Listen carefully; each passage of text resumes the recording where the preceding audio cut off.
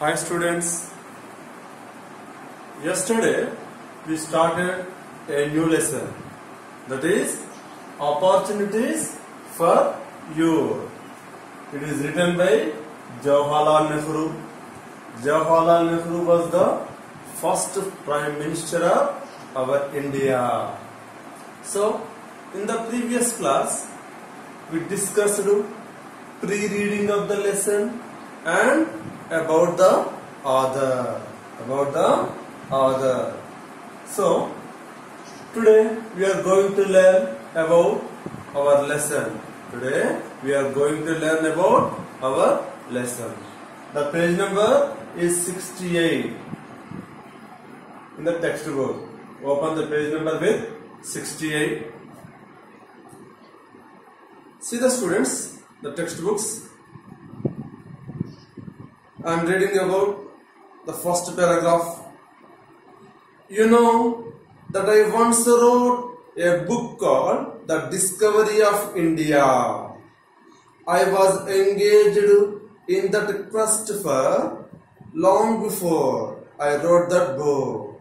It was not mere curiosity that led me to that quest. I was engaged in many activities and I wanted to proper reconciliation between my activity, my thought. Thought without action is abortion. Action without thought is folly. See the students? I explain the paragraph. You know that I once wrote a book called The Discovery of India. You know that I, I means here who? I means Jawaharlal Nehru. Jawaharlal Nehru is the narrator of the lesson. I wrote a book called The Discovery of India. The Discovery of India is a famous book. It is written by Jawaharlal Nehru. Here Jawaharlal Nehru saying The Discovery of India book is written by me. So I was engaged in that quest. Quest means search. I was engaged in that quest long before I wrote that book. Uh, Jawaharlal Nehru wanted to write that book for many years. At final, he wrote that book. It was not mere curiosity that led me to that quest. Uh, not only curiosity leads to write that book. There is a strong idea there is a strong idea, strong thought, strong thinking is there for that book. So I was engaged in many activities and I wanted to proper reconciliation between my activity and my thought. Uh, Jawaharlal Nehru engaged in many activities is a great politician. So he was engaged in many activities. Although Jawaharlal Nehru thought is saying the thought, the thought and the action should be in coordination. Then only the actions will be fulfilled. So, what is saying? I was engaged in many activities and I wanted proper reconciliation. Proper reconciliation. Reconciliation means agreement agreement reconciliation means agreement. Agreement between activity and thought. Between activity and thought. Thought without action is abortion action without thought is folly. Thought without action is abortion it means thought without action is abortion abortion means failure. Sometimes Sometimes we think about many activities. I become a engineer. I become a doctor. I become an IAS. So, etc.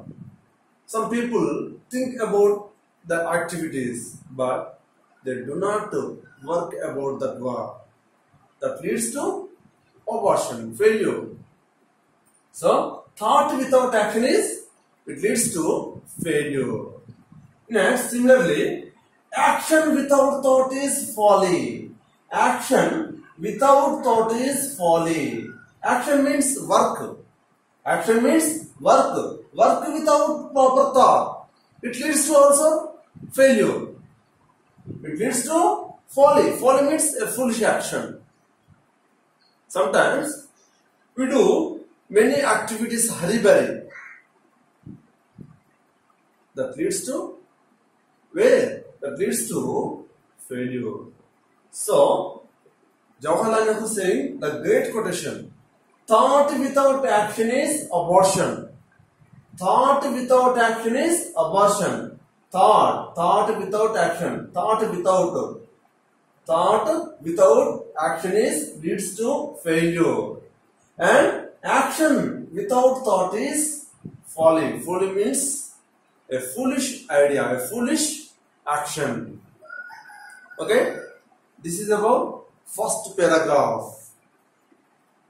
Now I am reading second paragraph. See the textbooks. Of course, we sometimes act on some impulse or irrepressible urge.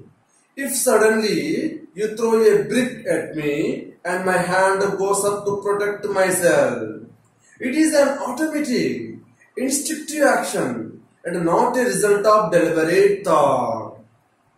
Our living is conditioned by a series of automatic actions from morning till night. Anything we do outside that the common range of actions, however, has to be preceded by some measure of thinking. The more action and thought are allied and the more integrated, the more effective they become and for happier you grow. There will then be no inner conflict between a wish to do something and inability to, to act or between thinking one way and action in another. The happiest man is he whose thinking and action are coordinated. Of course, now I am explaining the paragraph. Of course, we sometimes act on some impulse or irrepressible urge.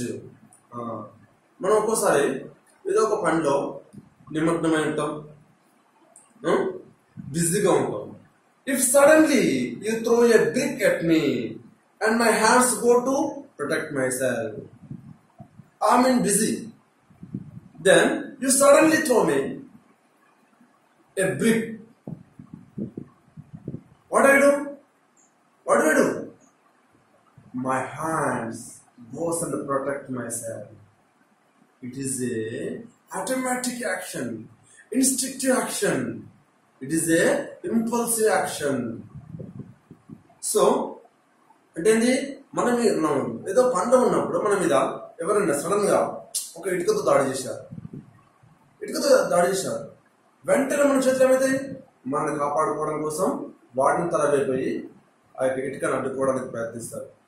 అంటే ఇక్కడ చూడండి మనకు there is no there is no proper thought మనకు దానికంటే ముందు ఒక ఆలోచన అనేది లేదు. ఆ ఇటుక వస్తుంది ఆ నీ చేతులు పోయి దాన్ని కాపాడని మనకు ఎవరు చెప్పలే. So it is called instinctive action so It is an automatic instinctive action and not a result of deliberate thought. అంటే ఇది ప్రాపర్ ఒక వితౌట్ థాట్ థాట్ ఆలోచన లేకుండా చేసినటువంటి యాక్షన్ అన్నమాట ఇది. So our living is condition by a series of automatic actions from morning till night మరి our daily life ఏ విధంగా ఉంటుంది? మార్నింగ్ నుంచి నైట్ వరకు మనకు కొన్ని ఆటోమేటిక్ యాక్షన్స్ కొన్ని ఆలోచనతో ఉన్నటువంటి కొన్ని పనులు ఉంటాయి ఇవన్నీ కలిపి ఒక సిరీస్ లాగా ఉన్నదే మన యొక్క డైలీ యాక్టివిటీ సో మనం ఉదయం లేచిన కాంతి నైట్ పడుకునే దాంతో కొన్ని రకరకాల పనులు కొన్ని ఆలోచించి చేసేటుంటాయి కొన్ని ఆలోచించకుండా చేసేటుంటాయి అనమాట so our living life is a series of many activities so anything we do outside that the common range of action however has to be preceded by some measure of thinking మరి ఏదైనా గొప్ప పని చేయాలంటే మనం ఏం చేయాలి? Some idea ఉండాలి. Some proper idea తోటి మనం వర్క్ చేయాల్సి ఉంటుంది. So the more action and thought are allied and integrated the more effective they become and happier you grow మరి మనం ఎప్పుడు హ్యాపీగా ఉంటామంటే మనం ఎంతైతే ఆలోచన చేస్తామో అంత పనిని ఎంతైతే ఆలోచన చేస్తామో ఆ ఆలోచన ఇంప్లిమెంట్ చేస్తాము హండ్రెడ్ పర్సెంటేజ్ ఆలోచిస్తే హండ్రెడ్ పర్సెంటేజ్ దాన్ని ఇంప్లిమెంట్ చేసాం అనుకో మనం చాలా హ్యాపీగా ఉంటాం. హండ్రెడ్ పర్సెంటేజ్ ఆలోచన చేసి నైంటీ పర్సెంటేజ్ యాక్షన్ ఫుల్ఫిల్ అయినా కానీ పర్లేదు కొద్దిగా హ్యాపీగానే ఉంటాం.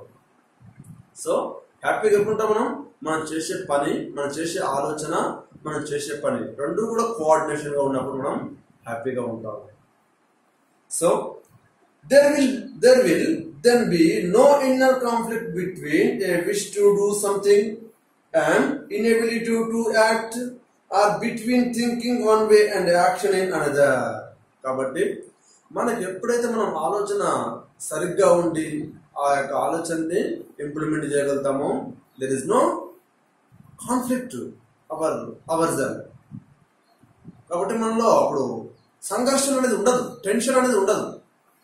ఎప్పుడైతే మనము ఆలోచన ఒక విధంగా ఉండి పని వేరొక విధంగా ఉంటే దెన్ స్టార్ట్స్ ద కాన్ఫ్లిక్ట్ అప్పుడే సంఘర్షణ అనేది మొదలవుతుంది టెన్షన్ ఒత్తిడి మొదలవుతుంది అంట కాబట్టి మనం అనుకున్నామంటే అది చేసేసేయాలి. కొంతమంది అనుకుంటుంది చదవాలి చదవాలి చదవాలి చదవాలి అనుకుంటుంది చదవాలి టుమారో ఎగ్జామ్ ఉంటుంది. అప్పుడు ఏమవుతుంది వాళ్ళు దే విల్ గెట్ ప్రెషర్ అప్పుడు మనకు ఒత్తిడి స్టార్ట్ అవుతుంది అనుకో so the happiest man is he whose thinking and action are coordinator coordinated the happiest man is he whose thinking and action are coordinator coordinated who is the happiest person in this world the person who thinks and the person whose thinking and action are coordinated. The person whose thinking, whose thoughts and actions are coordinated, the person is the happiest person in the world. ఎవడైతే ఎవరైతే ఆలోచనలు వాళ్ళు implement చేయగలుగుతారో వాళ్ళ యొక్క ఆలోచనలు మరి యొక్క వాళ్ళ పనులు రెండు కూడా కోఆర్డినేషన్లో ఉంటాయో వాళ్ళే happy person Happiest person in the world. So, happiness, after all, is an inner state of mind. This is the third paragraph I am reading. Happiness, after all, is an inner state of mind. It is little dependent on outside environment. Happiness has very little to do, uh, for instance, with whether you are rich or not rich. Some of the most miserable person I have come across in my life are the rich people. It is true that poverty makes one miserable in a very acute way. But my point is that it is not well, but a coordination of one's thought and action which removes inner conflicts. It is in that way that integration of personality is achieved. We were engaged, as you know, in a very great movement in India because that movement was intimately concerned with the freedom of India. I was led to wonder that exactly is India. I knew, of course, the geography of India. I knew many other odd facts about India too. I was not prepared to accept it on faith that because I was born in India, India was the greatest country in the world. That is the kind of folly in which the people of every country indulge. Now, I explain the third paragraph. Listen to me. Happiness, after all, is an inner state of mind Happiness. What is happiness? Happiness is an inner state of mind. సంతోషం అనేది దేనికి సంబంధించింది మనసుకు సంబంధించింది it is little dependent on out side environment out side environment cannot influence the happiness. Happiness has a very little to do. Happiness is a, a small instance. For example, which With whether you are rich or not rich. మరి సంతోషంగా ఉంటారు కొంతమంది కొంతమంది rich persons ఉంటారు కొంతమంది poor persons ఉంటారు poor people ఉంటారు. So వాళ్ళందరూ సంతోషంగా ఉండట్లేరా? రిచ్ పీపుల్ మాత్రమే హ్యాపీగా ఉంటున్నారా? పూర్ పీపుల్ అనేది సంతోషంగా ఉండట్లేదా? కాబట్టి సంతోషం అనేది అందరికి సంబంధించింది. రిచ్ ఉంటుంది అది the rich people the feel happy and the poor people also feel like happy. So happiness is happiness is for all. So some of the most miserable persons I have come across in my life are the rich people. ఇక్కడ జవహర్లాల్ నెహ్రూ ఏం చెప్తున్నట్టే తన జీవితంలో చూసినటువంటి కొంతమంది దయానీయ వ్యక్తులు చాలా బాగా చూసి జాడేసినట అలాంటి వ్యక్తులు ఎవరంటే రిచ్ పర్సన్స్ అంట రిచ్ పీపుల్ అంటారు రిచ్ పీపుల్ చూస్తే వాళ్ళ యొక్క లైఫ్ చూసిన తర్వాత కొన్ని సంవత్సరాల తర్వాత వాళ్ళు వాళ్ళు చూస్తే ఇతనికి జాలి అనిపించినట బాధ అనిపించిందట. ఎందుకు? It is true that poverty makes one miserable in a very acute way మరి డబ్బు అనేది అవసరం లేదా? అంటే రిచ్ పీపుల్ అంటారు ఫ్యూచర్లో వాళ్ళు అంటే వాళ్ళ యొక్క బ్రతుకు ఆ విధంగా ఉంటుందా? అంటే డబ్బు సంపాదించడం చెప్పినట్లే ఇక్కడ. అంటే డబ్బు కూడా మనకు అవసరమే. డబ్బు అనేది మినిమం నీడ్స్కు అవసరమే ఒక లిమిట్ ఉంటుంది దానికి. ఆ లిమిట్ దాటిపోయి చాలా ఎక్కువగా మనం డబ్బు గురించి ఆలోచిస్తే వాళ్ళ యొక్క లైఫ్ ఏ విధంగా ఉంటుందంటే చాలా వాళ్ళకి ఎవరు హెల్ప్ చేయరు. No one helps to them. So but my point is that it is not well. But coordination of one's thought and action which removes inner conflicts. ఇక్కడ డబ్బు అవసరం లేదని చెప్పట్లేదు తను సంతోషంగా ఉండడానికి ఏం కావాలంట? సంతోషంగా ఉండడానికి ఇక్కడ ఏం చెప్తుండ్రు? డబ్బే అవసరం లేదని చెప్తుండ్రు. అంటే కోటీశ్వర్లు కోటీశ్వర్లు కొంతమంది సంతోషంగా ఉంటారు కొంతమంది సాడ్గా ఉంటారు. చాలామంది సాడ్గా ఉంటారు. కొంతమంది మాత్రమే హ్యాపీగా ఉంటారు. అదే పూర్ పీపుల్లో కొంతమంది మాత్రమే అన్హ్యాపీగా ఉంటారు చాలామంది సంతోషంగా ఉంటారు. అంటే ఇక్కడ ఏం చెప్తున్నంటే ఏం చెప్తున్న ఫైనల్గా ఏం చెప్తున్నంటే coordination of one's thought and action which removes inner conflicts ఎవరైతే వ్యక్తి తను ఏది ఆలోచిస్తాడో అదే పనిని చేసి చేయగలిగే వ్యక్తి వాడికి ఇన్నర్ కాన్ఫ్లిక్ట్స్ ఉండవు. మరి డబ్బున్న వాళ్ళు ఏం చేస్తారంటే వాళ్ళకి చాలా చాలా చాలా ఎక్కువగా ఆశ ఉంటుంది. అది చేయాలి ఇది చేయాలి వాళ్ళ డబ్బులు ఎక్కడ దాయాలి ఎక్కడ ఇన్వెస్ట్ చేయాలని ఇదే ఆలోచన ఉంటుంది. సో వాళ్ళ యొక్క మైండ్ అనేది ఎప్పుడు కూడా కాన్ఫ్లిక్ట్గా జిగ్జాగ్గా ఉంటుంది కన్ఫ్యూజ్డ్గా ఉంటుంది. కాబట్టి వాళ్ళకి హ్యాపీనెస్ అనేది ఉండదు. అది పేదవాడికి వాడికి ఉండేది మహా వెయ్యి రూపాయలు పదివేలు ఉంటాయి. వాడికి వాటిని ఎక్కడ ఇన్వెస్ట్మెంట్ చేయాలి దాన్ని ఏ దొంగలు తీసుకెళ్తారనే బాధ ఉండదు ఏ ఇబ్బంది ఉండదు. వాడు వాడికి ఒక ప్రాపర్ ఐడియా ఉంటుంది. దాన్ని ఇంప్లిమెంట్ చేస్తుంటాడు ఎప్పుడు కూడా. కాబట్టి there is no inner conflict in their minds so they will be happy they leads their life happy full happy full enjoy so it is in that way that integration of personality is achieved.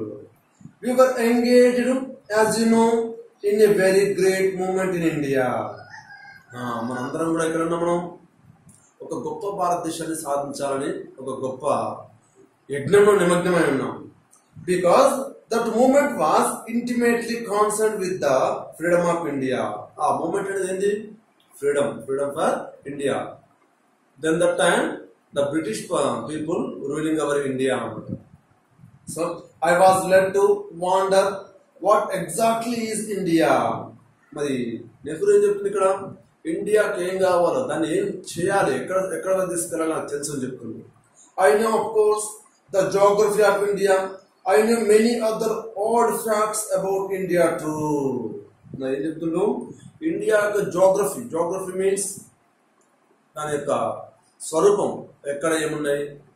India యొక్క మొత్తం భౌగోళిక స్వరూపం మొత్తం నాకు తెలుసు అంటే ఈ travelled throughout the India Jawaharlal Nehru.